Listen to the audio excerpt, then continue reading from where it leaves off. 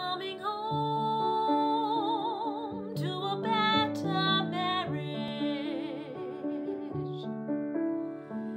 Showing up face to face and heart to heart. Family Wellness, and just thrilled to welcome all of you tonight to our presentation. One fight, two winners, and um, and really excited to have so many people from all over the country. So welcome. I am going to pass the baton to our beloved leader, George Papageorge. Great. Hey, friends, how's everybody doing? Great to have you back. I am curious on if you weren't able to join us last time and you are here tonight for the first time, wave your arms if you're here for the first time. Okay, welcome. Cool, cool. Keep waving if you're here for the first time. I'm just glancing across the pages here. Awesome. Fantastic. Well, welcome to all, and and we uh, you know deeply appreciate those back who were with us last time, and then excited that if you didn't make it last time, you found us. And uh, of course, thanks to uh, Johanna, director of Youth and Young Adult, who we partner with, but she does so much of the emailing out to you and all of all the connections there. So we're really happy that you're all here. Um, we're going to start here uh, with a prayer with His Eminence in a moment, but I just wanted to say that as as Lent is happening. Um, I always have this little bit of a hopeful ex- anticipation when Lent, Lent starts, and then this inevitable anxiety, which is that sometimes I have found I, I'm hopeful that I have some kind of great, great Lent. Every year I'm hopeful. And more often than I like to admit, it sort of flies by. And what I find is like life gets in the way of great Lent and then Pascha happens, and I eat too much, and then I have to get hopeful like a year later that it ended up being more grounded for me than maybe it was that particular year. So, as I'm hopeful that we all have a very meaningful Great Lent, but recognizing that somehow life can get in the way, we're also hopeful that we can come home to a better marriage, which is the title of our series. But very often, life oddly enough, life can get in the way of a better marriage. So, and I'm cheating a little bit because we're down here in Mexico, so I'm about as zen as you can get. But, um, but nonetheless, anxiety can follow us everywhere. And so I just want us to, whether it's literally take a breath or in our life take a breath, that we try to just sink into the present moment, uh, really look forward to what Father Tom is going to be sharing with us it happens to be a talk that is on conflict, which actually it's through conflict very often that life gets in the way of a better marriage. So I'm delighted that tonight we could find God's uh, illumination as Father Tom shares with us that we could actually experience conflict in a different way and in a way that we would christen, we would bring our conflict um, patterns to the cross during this great Lent. And that literally, as we're reflecting on it, as Father Tom shares some great insights tonight, we literally can be picturing the way in which we ind- individuals do conflict and consider bringing that to the cross this Lenten period. As very often, if it's anything like me, my patterns need to die at the cross so that they can be resurrected and blessed by, by true um, touch of the Lord. So we welcome you, Your Eminence, if you would open us in a word of prayer and bless us as we start our class. Thank you, George, and uh, ladies and gentlemen, Reverend Fathers, thank you so much for uh, having me here this evening again. Let us pray. Gracious and loving Lord, as we continue our journey through great and holy Lent, May we be strengthened by your grace and your love and your peace. May our hearts and minds be focused on you and the ultimate sacrifice you made upon the cross for our salvation. Guide us to worship at the foot of your cross and lead us to a glorious celebration of your holy resurrection. Help us to speak in love, to only share words of support and to be kind to one another. Let us follow your examples of selfishness and humility in all our actions with our spouses, families, and friends, so that we may be true seekers of your will for our lives and doers of your good works, so that every day we may bring praise and honor and worship to the Father and to the Son and to the Holy Spirit, now and forever and to the ages of ages. Amen. Thank you so much, Your Eminence. Again, we are so grateful that you are with us through this entire series, and we appreciate your guidance and love. So thank, Thank you. you. Um, hi, everyone. I'm Presbytera Pat Tsagalakis, here greeting you from Seattle. I'm um, the Assistant Director of Family Wellness, and it is my pleasure to introduce to you um, our speaker, who is right next to me, who is my beloved husband, Father Tom. And um, this subject of conflict and finding a way to deal with conflict as a married couple impacted us very early in our marriage. When I came home and I told him, honey, I bought a piano. and he looked at me like, You bought what? And it was this. And we had no money. and we No were- money. we didn't but i'm a musician and i needed a piano i found a deal on a upright piano like $500 and this was the biggest expense we'd ever ever And expend the so next week she bought a thousand dollar rug. okay so again we entered a little bit of marital conflict and we didn't really know how to navigate through conflict and if we would have learned these things to get through it would have made things a lot easier so we are so grateful that you're here with us today to share how we can enter into having one fight and two winners. And so I am going to now pass it on to my sweet beloved husband, Father Tom, who is always making surprises. Okay, everybody. Uh, I'm going to talk to you about conflict, and I just had some helium to break the, break the ice. Okay. Okay, just wanted to. You can't hear them bit. laughing at the You end. can't hear, hear me laughing. No, conflict is probably the best thing you all wanted to talk about on a, on a wonderful thir- uh, Thursday night. But I, I think if we conflict is probably as a therapist, as a father, as a friend, as a as a priest, is probably the most powerful thing that we need to consider uh, how to respond to. And I, I'd like for you to look at this for a moment. And what's what's the first thing that comes to mind when you see this?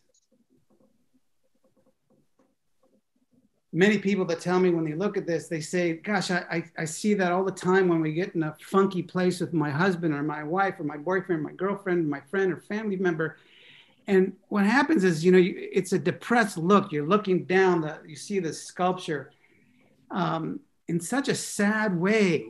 And what I want to talk about today at, at the depth of who we are, we are created for connection. George, uh, Papageorge last week, and, and Father Vasily reamed it in us and that's god created us to be connected let's get that straight that's at the core of what we're going to talk about today and you see that right now whatever conflict whatever mental barrier whatever spiritual barrier whatever mental barrier there is a deep desire that god created within us to be connected.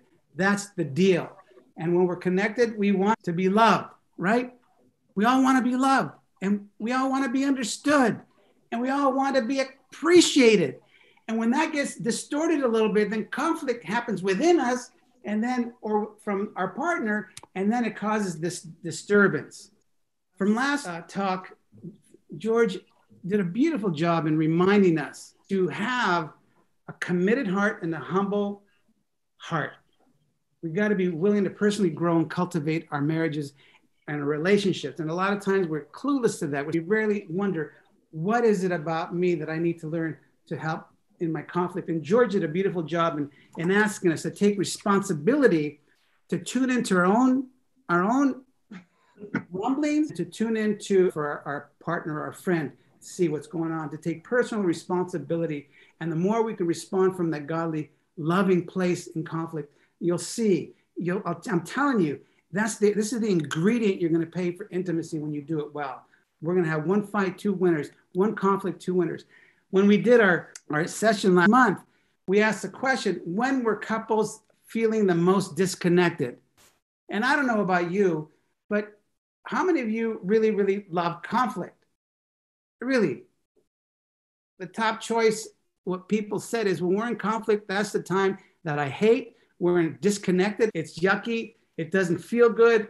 And I'd rather not do it. When I ask you to think about your own uh, response to conflict, how you do it, how you think about it, where do you go? In your family, did you learn how to do it well? Did you learn to fear it? Conflict is just telling us something's going on with our bodies, with our emotions, something's disconnected. It's how we respond to conflict that becomes disastrous. Listen to some things that people have told me. How they view conflict. This is the common response. And if we have me against something and something against me, I'm afraid of conflict. It makes me feel too vulnerable. I hate it. I love conflict. I'm always up for a good fight. I always tell it like it is. Too often we get defensive, trying to prove our point, which then starts a cycle of anger, hurt, and blame. Fighting makes me anxious. Someone always gets hurt. It's not worth it, and I avoid it because it never turns out peaceful. Disagreements force us to open up in a way that is often not comfortable, but sometimes it disconnects us, and other times it's a positive force for change if we are really listening to each other. The people pleaser, I'd rather give in than deal with conflict. When we are in conflict, we yell at each other. It's when two people stand their ground, both feeling they are victims and recipients of one another's criticism. So for me, when I think of conflict, I, I, I can tell you so many events. And one that comes to mind is when my family took a trip to Greece. We went to a monastery. First time I took our kids to a monastery, it's a convent in Thiva, Holy Cross. And it was amazing. And we finished the service. We had something to eat. I was talking to the abbess. and all of a sudden, my kids, I think Nicholas was nine years old and Maria was seven. And they started coming, Dad, Dad, Dad, they need a conflict resolution person. Dad, they need a conflict resolution person. I said, What's going on? I said, That lady's got a broom and she's hitting the other nun, hitting the other nun. I said, What's going on? So I found out that the lady from Georgia uh, was telling my kids to broom, to sweep. And the lady from Athens, Greece was upset at the lady from Athens, Georgia, that the kids were doing her job and she was upset that these visitors were doing work. Conflict happens everywhere. So let me share with you a little bit about what I hope tonight we can do, at least to change your attitude about conflict, because most people don't like it. And I think we don't like it because we've not learned it to do it very well. For me, I remember when I was asked not to go to the creek as a little kid because my mom didn't want me to get dirty. And I remember one time I snuck out there with my brother and I came back with muddy shoes and she asked me, Puisana, where were you? With a knot, nowhere. Puisana, Besmo, where were you? Tell me. With a knot, nowhere because I was mortified inside. And all of a sudden, Besmo or Alithia. So she said, Tell the truth. So I told her I was at the creek. And then she, Dee, what? I told you not to go there. Poof. she slapped me. I'm thinking, that's the last time I'm going to tell the truth to my mother. I learned really well. Conflict taught me to shut up. Conflict taught me it's not safe to be honest. And that's what I want to help us realize with God's grace honesty will move us into a holy space. Conflict is really, it, it helps us realize something's dissonant, out of tune, out of balance. Something's disconnected in us, in the relationship, and we need reconnection.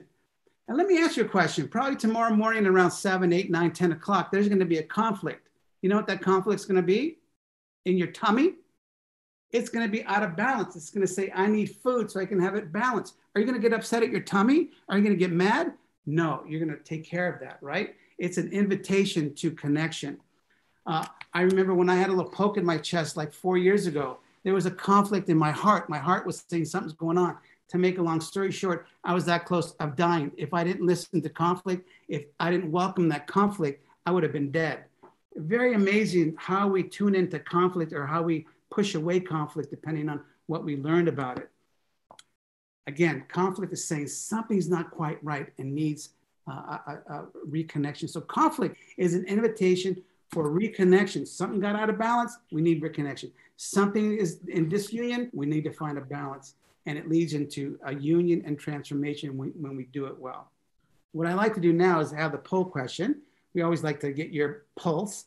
And uh, Johanna? Yes, this is one of our favorite parts of the evening. I'll go ahead and launch the poll.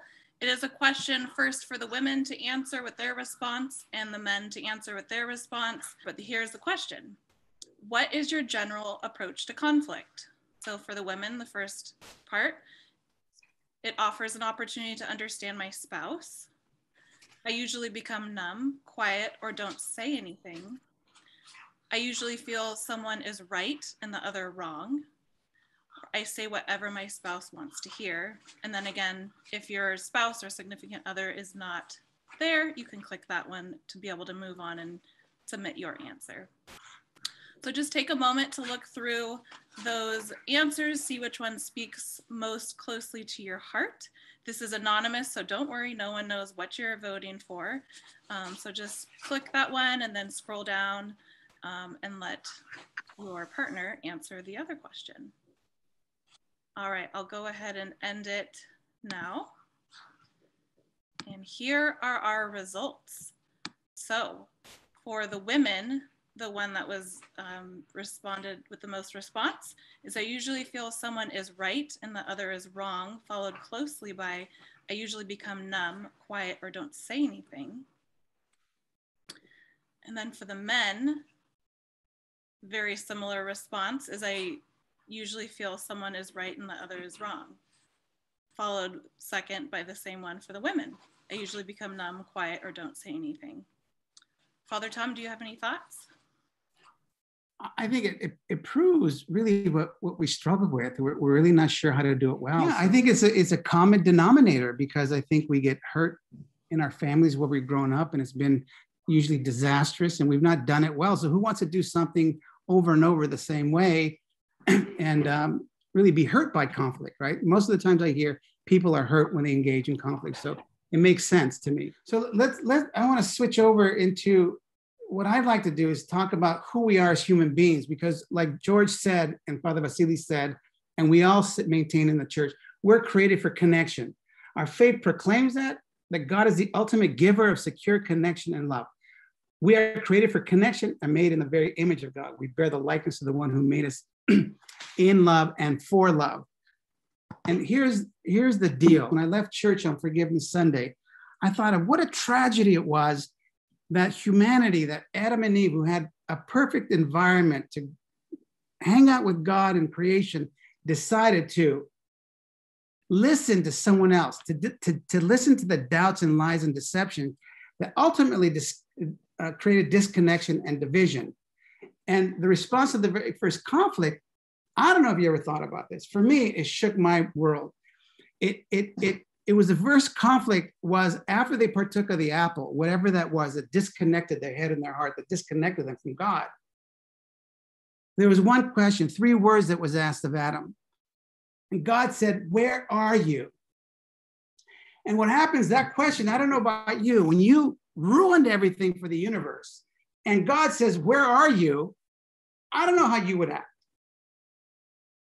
Adam was cruising around doing his own thing, and he had a respond to that reality that he did something not okay. The only response to that is truth. But here's what he said He said, I can't say anything. I'm afraid. I'm so afraid. False expectations appearing real is what happened.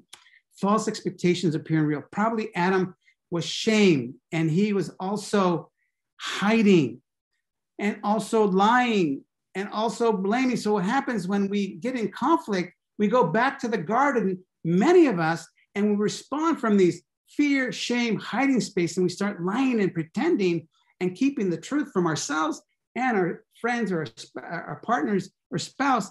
Then we create havoc, we create disaster because we can't be honest with God. I really feel if this is their only response, I can't believe I messed up, Lord.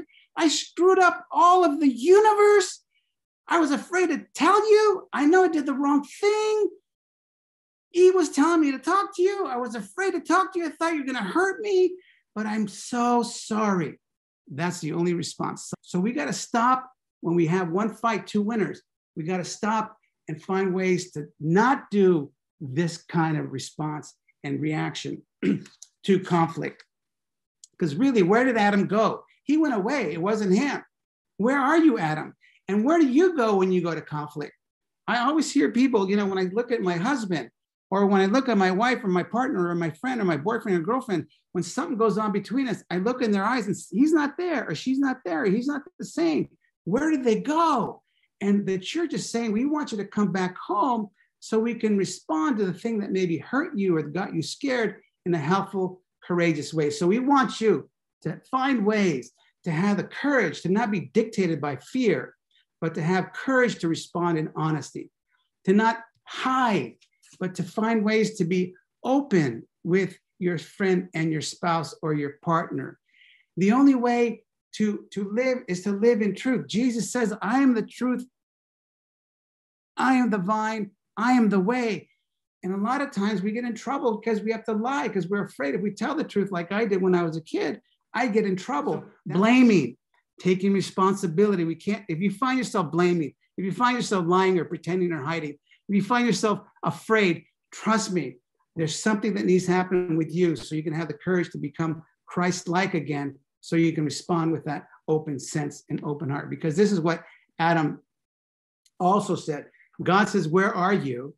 And we say that to our spouse. And conversely, we say to our spouse, Are you there? Spouse or God, are you there to love me? Are you there to understand me?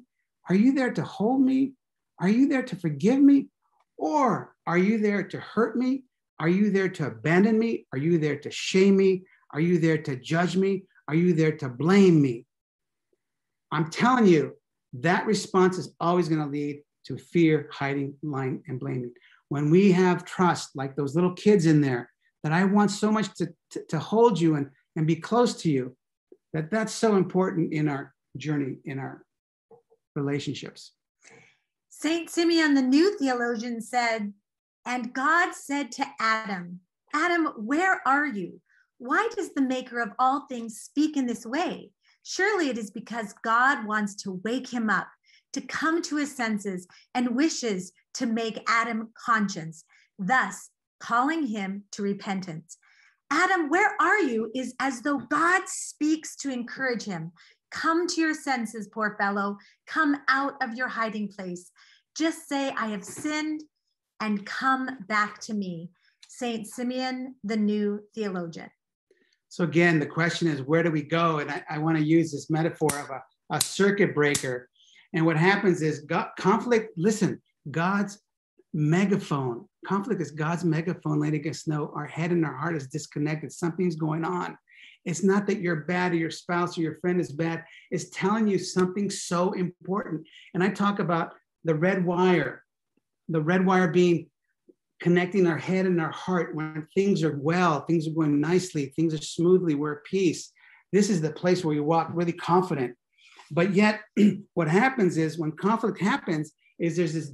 This is what happened in the garden. There's a disconnect. It's like the circuit breaker goes off, and there's the life force does not uh, in, in, in, imbue us, and the purple wire connects. And I call the purple wire the purple wire of negative thoughts, the purple wire of blaming and judging, the purple wire that tells us to feel we're stupid, we're not good enough. And that feeds us and moves us. And then we react from that purple wire, from that not healthy place. And I want to show you a little bit. Father Vasili shared a little bit last week, and then I'm going to show you a film that I want us to wonder how we have these automatic negative thoughts that control us. We need to get back to reconnecting our head and our heart when we respond to any conflict. And trust me, when you do that, you don't need to have somebody be a winner or loser. we will find a way to engage in the godly way. One last thing, I'll show you a little tape. So here's the deal. This is what happened in the garden. If you can think, everyone put your thumb up like this. Say hi, everyone. Hi, put your thumb up. Here's the brain science, really quick brain science. Father Vasily was sharing it. We're going to probably do it every time because this is what happens. This is what happened in the garden. It what happens is what happens today is this thing called the amygdala. Uh, they call it the limbic system, system or the reptilian mind. What happens is it's the it's the thing that when we feel any danger or we're in harm's way or we're going to be hurt, it could be real or perce- perceived or real. This thing will active, activate and take over our, and we call this the brainstem. And if this is our heart and our mind connected, When we're walking like this, we're at peace, we're doing great, everything's wonderful. But what happens is, let's say I'm walking in the desert and all of a sudden I see a snake. This thing's gonna pop. I'm gonna pop my lid, and this amygdala is gonna take over my body and it's gonna move me into a fight, flight, or freeze response.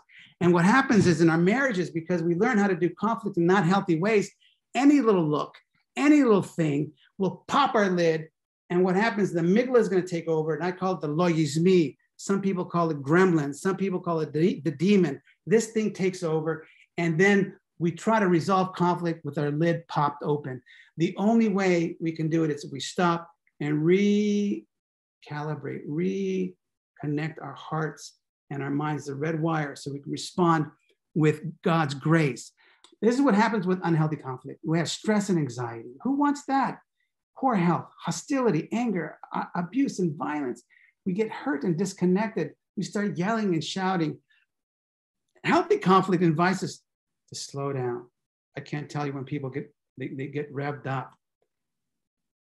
We need to find a way to understand and be understood. We need to share from the heart. We need to seek Christ to respond to the conflict because a lot of times we do conflict on our own. We need to gain insight and identify issues because if something's off balance, I want my wife to help me or I want to help my wife. We need to find solutions and we need reconnection and transformation.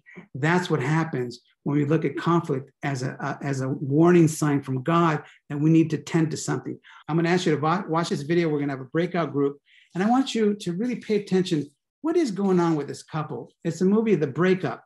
And so we're going to watch them. It's a five minute video.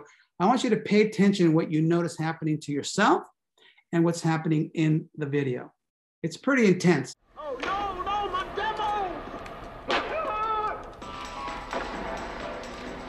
Well, I'm going to go do the dishes.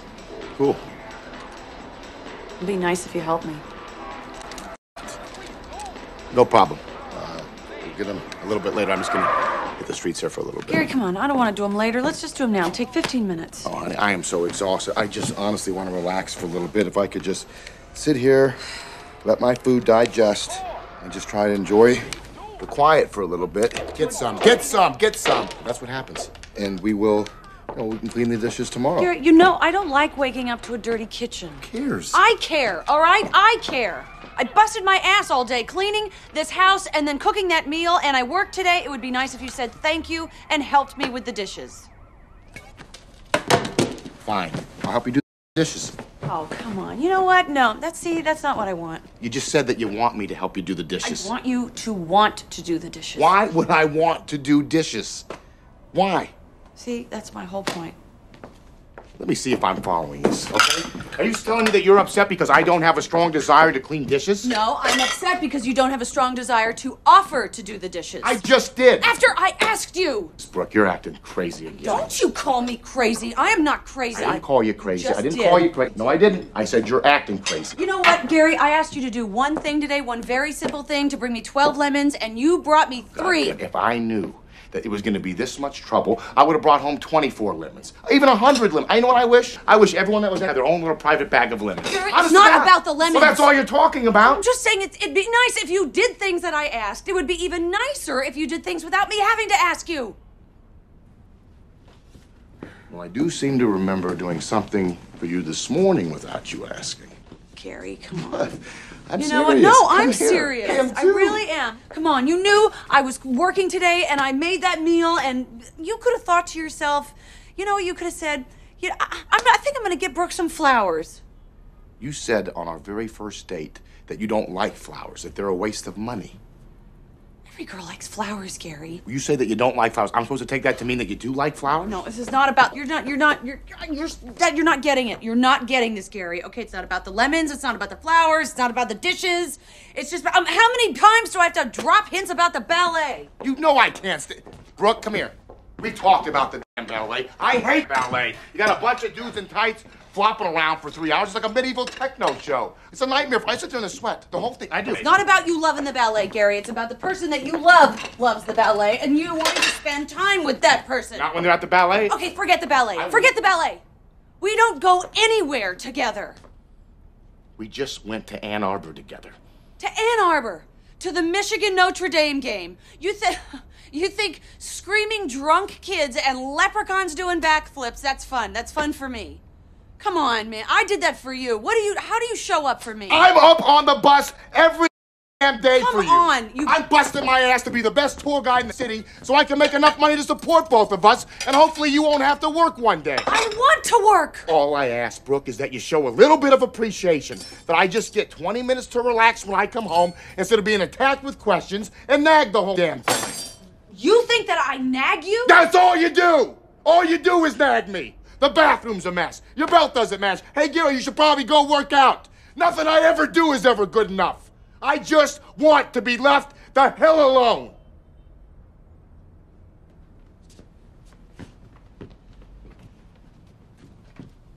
Really? Is that what you want, Gary? Is that what you want? Yeah. That's what you want? Yeah. Fine, great, do whatever you want. You leave your socks all over this house, dress like a pig, play your stupid video game. I don't care, I'm done. What? I am done! I don't deserve this. I really do not deserve this. I deserve somebody who gives a shit. I'm not spending one more second of this life with some inconsiderate prick.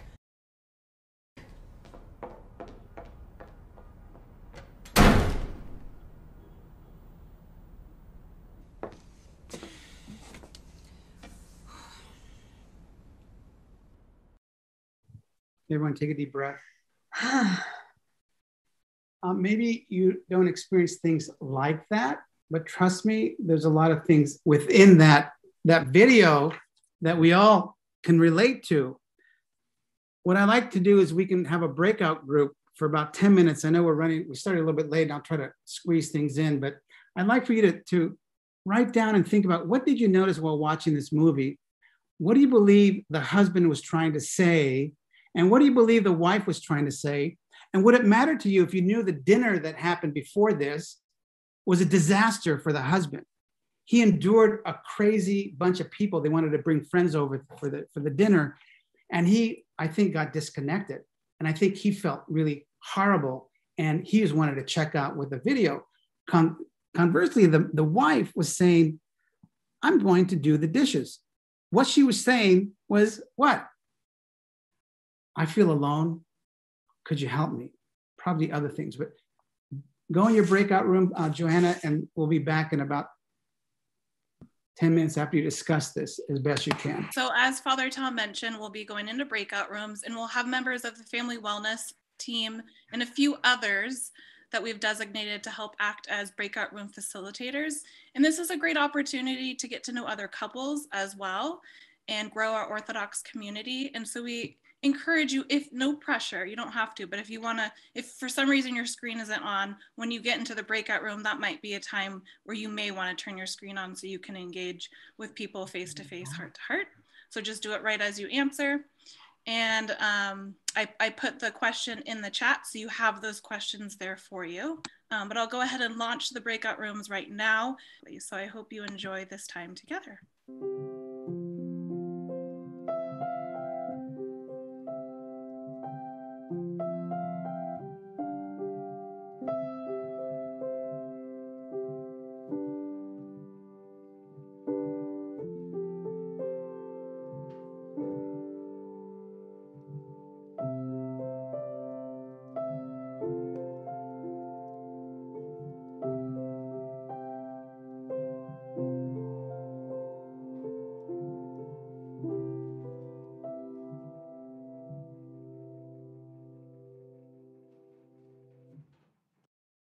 It's a perfect example what happens. We, we, we um, again, uh, Father Vasily shared this last week, all about how we respond from a godlike centered place.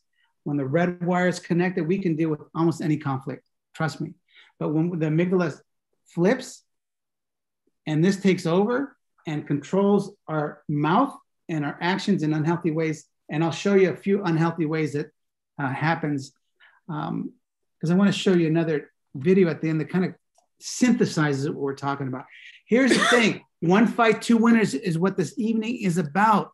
Here's a deal if you find yourself in any way blaming, if you blame in any way where you think you have to be right and the other person's wrong, you got to step back and realize we both have a story.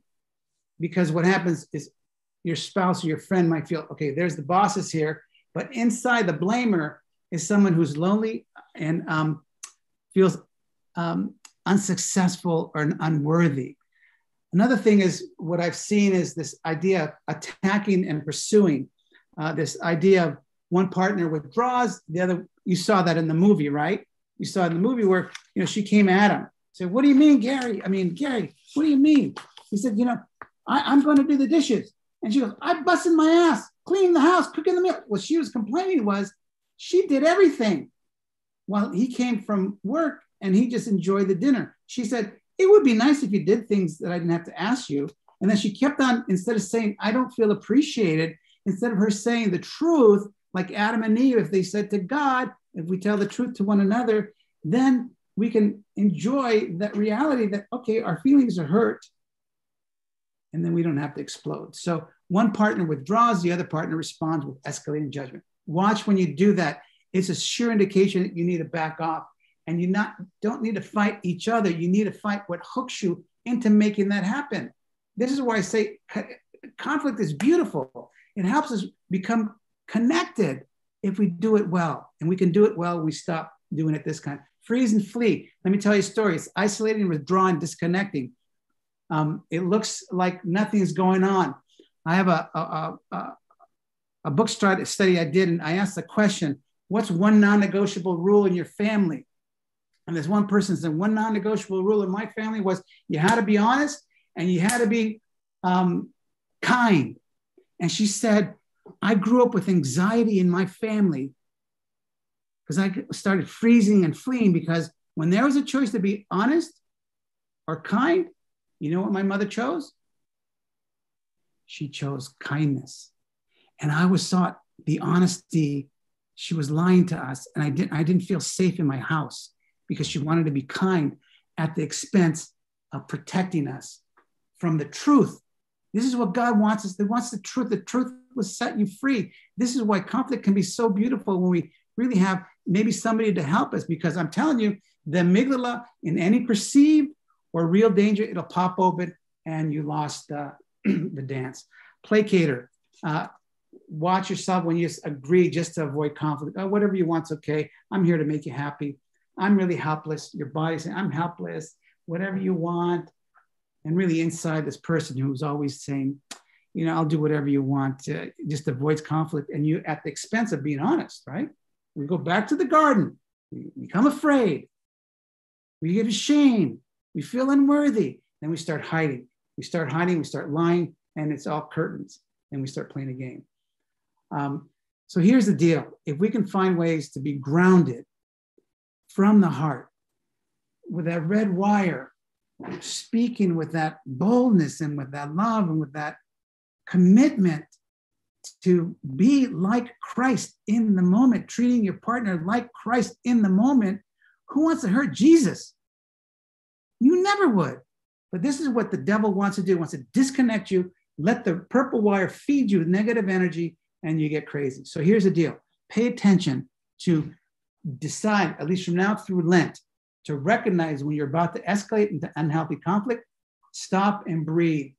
Because what George and Father Vasily shared last time is we got to pay attention. The stethoscope's got to go to our heart.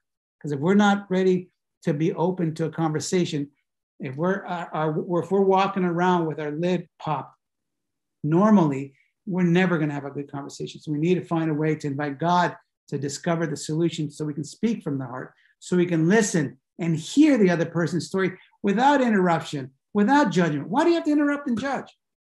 They just want to tell their story. And when we can hold their story in a safe place. And plus, I want to share this. If you find yourself in a violent, abusive position, conflict can be very, very uh, prickly.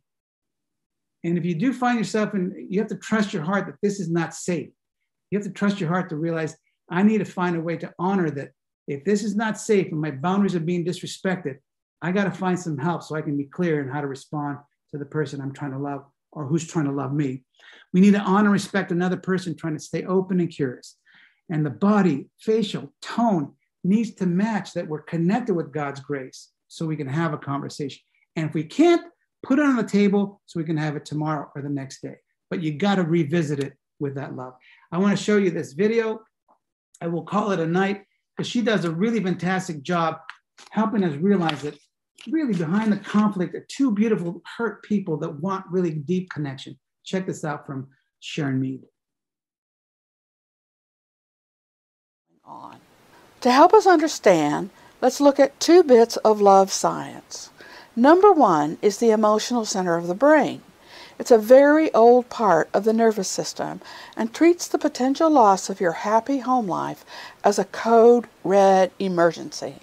It gets your body ready for fight or flight and shuts down unnecessary functions like rational thought.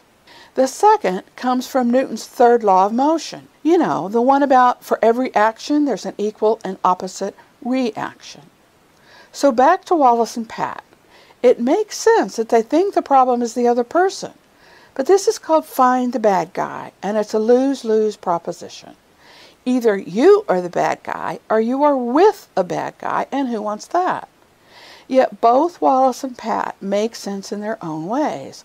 Let's look at them one at a time. First, Pat. When Pat feels far away from Wallace or they're fighting, Pat fears being alone, unimportant, invisible, helpless. And because of that, Pat feels sad or lonely, frustrated, irritated, angry. All this creates the fight or flight response. Pat wants Wallace to come closer, but what Pat says sounds like demands or criticisms. So Wallace sees Pat saying, You're always gone. You never listen to me. I have to do everything by myself. I can't get through to you. You just don't care. But Pat has longings and softer feelings under this protest. Like, I miss you. I want to know I matter to you. I want to be a full partner. I can't find you. I want to be loved by you. Saying these kinds of things is hard because Pat doesn't know whether Wallace will respond lovingly, and Pat may be right about that. So let's look at Wallace. When Wallace feels far away from Pat or they're fighting, Wallace fears being inadequate, misunderstood, helpless. And because of that, Wallace feels sad or numb, frustrated, irritated, angry. Again, a fight or flight response. So, of course, Wallace wants the conflict to end, but what Wallace does seems like abandonment to Pat. This is what Pat sees. Wallace may freeze, saying nothing, or make empty promises like I'll try to do better, or disappear. Wallace may build a wall and go behind it. Wallace might get defensive. I didn't mean it that way. What do you want from me? I can never get it right for you.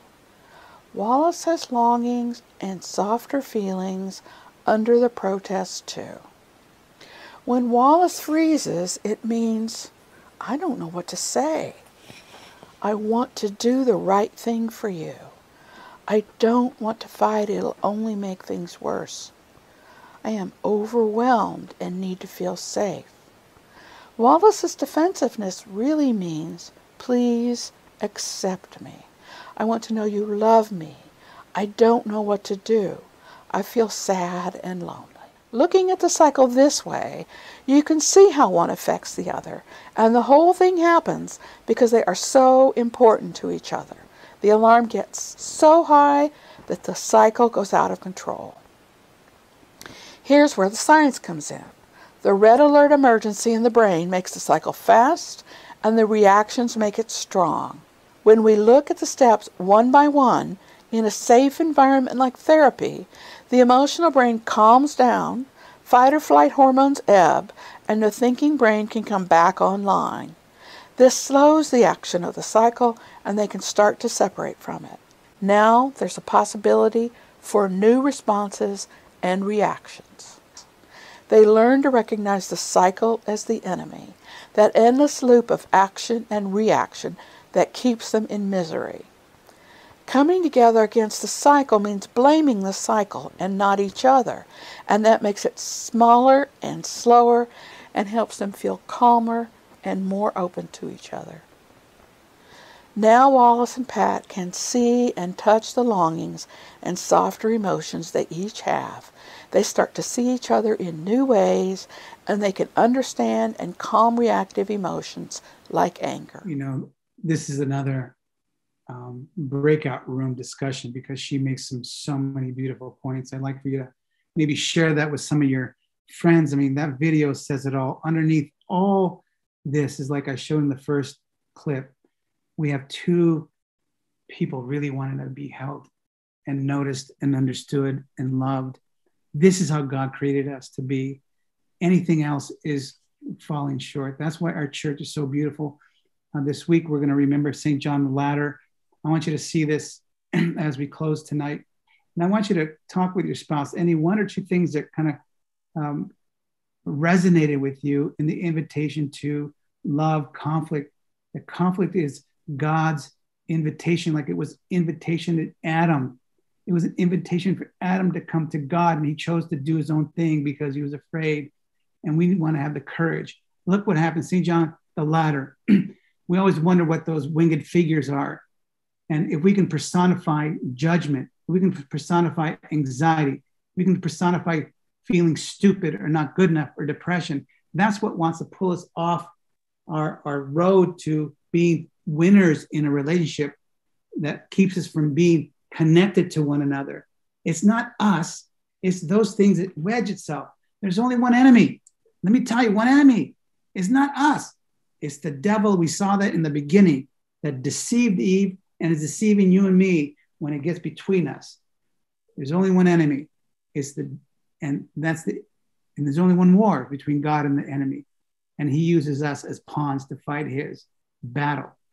To heck with that. Let's redirect our life inward so we can offer God the best fruits that we can have. And next uh, month, Father Timothy is going to continue this. I, would like for you to, Can read Okay, that. I'll read this um, from Father Thomas Hopko. Holy Father John of the Ladder, pray to God for us sinners.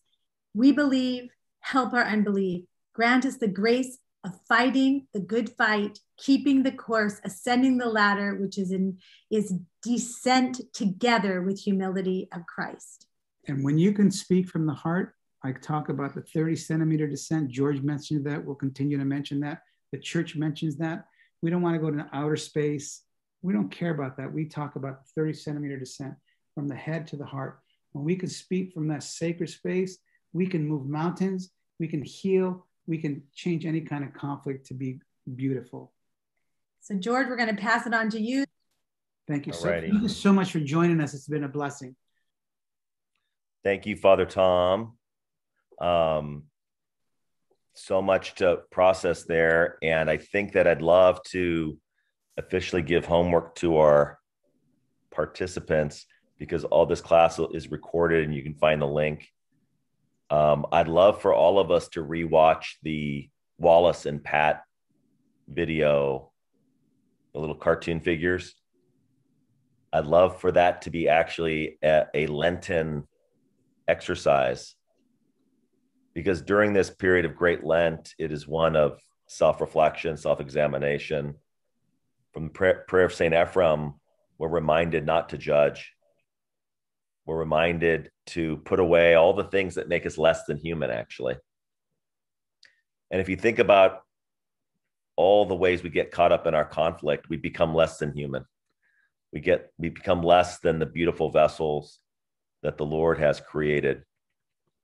I'd love, honestly, though, that each of us would look at that little cyclone cartoon and press pause as much as you can, maybe a, over a cup of coffee, cup of tea, whatever, and and just start talking about what the feelings are behind those patterns. It'd be absolute great use of time to use that little exercise. So we want to encourage that. I do want to mention, in way of closing, I know we're short on time, so I'll, I'll just keep it at this thought. This Lenten journey is one of self reflection, as I mentioned a moment ago.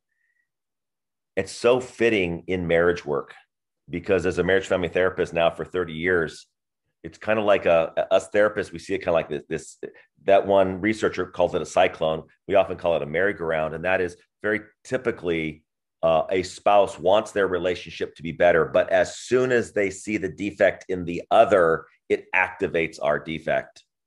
It almost feels like a fairness thing where, wait a minute, I, I'm not going to improve more than you because when you don't improve, something bad's going to happen. So then I'm all bets are off. And I just want to bring us back to Lenten journey because coming home to a better marriage is perfectly parallel to our Lenten journey.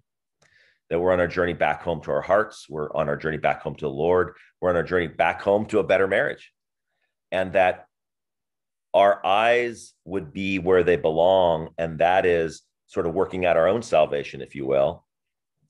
That whenever any kind of cyclone happens, that our, our commitment is simply this that we get a vision to be Christ like in time of conflict.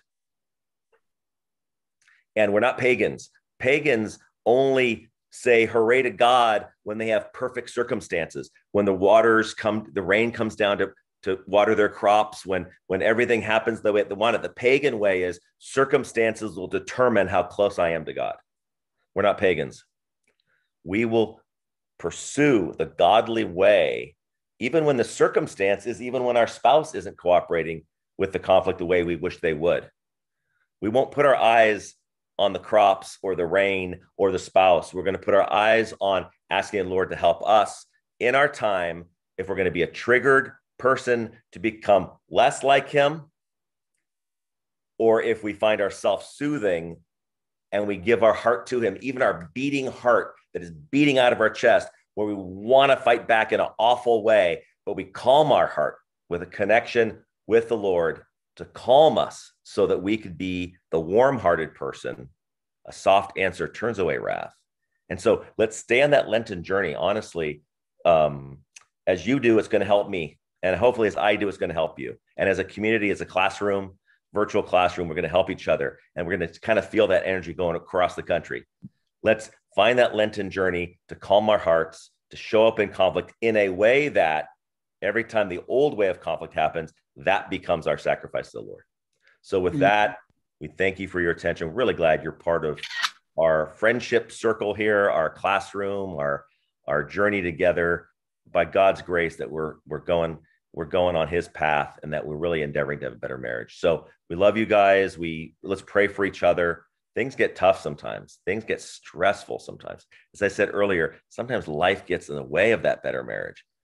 Let's have the better marriage get in the way of life a little bit next May, May 13th, our dear beloved Father Timothy will be sharing Stop the Insanity. So we hope that you'll do um, continue to join us. You use the same link. And we're going to invite Father Jim Pappas now to um, give us our closing prayer. Thank you so much. Thank you for joining us. And we're going to invite Father Jim Pappas give us a closing prayer. Thank you. Beloved Father, as we engage in strengthening our marriages, we seek your guidance and wisdom to help us prosper in our relationships. God, as true love, guide us to perfect love. Where there is hope, guide us toward hope eternal. As the Prince of Peace, guide us to perfect peace. Thus, may enmity and discord find no place when love exists. Thus may despair and doubt and distrust be relinquished to reveal hope. Thus may distress and agitation be replaced with peace and harmony. In all things, help us to find true intimacy, a new level of understanding. And if this connection, give us a valued reconnection. As you guide and guard our relationships, sow in us the realization that no conflict is more important than the value I hold for my beloved. Pray yourself in us for a most perfect union. In the name of the Father, the Son, and the Holy Spirit. Amen. Thank you so much, everyone. God bless Amen. you. Amen. Thank you. Hope to see you all next next month. Next month. And blessed Pascha to everyone. Well, blessed Pascha. Yeah, Coming home.